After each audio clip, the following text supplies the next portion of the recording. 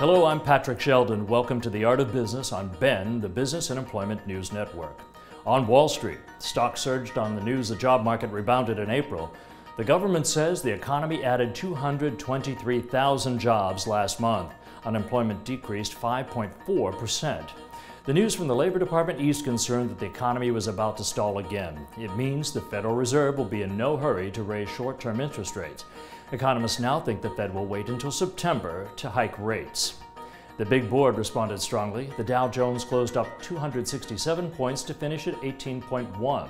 The Nasdaq was up 58 to close at 5. Nike says it will create 10,000 new jobs if President Obama's free trade zone deal is approved. Obama was in Oregon Friday to rally support at Nike headquarters for the plan. Nike had faced criticism for relying on low-wage manufacturing in Asia. The president will argue that a new 12-nation trade agreement would create more jobs at home.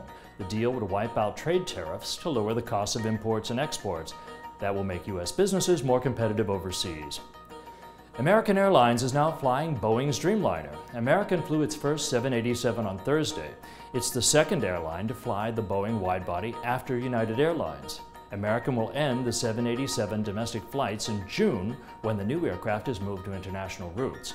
American has already placed orders for 42 of the aircraft with the right to acquire an additional 58.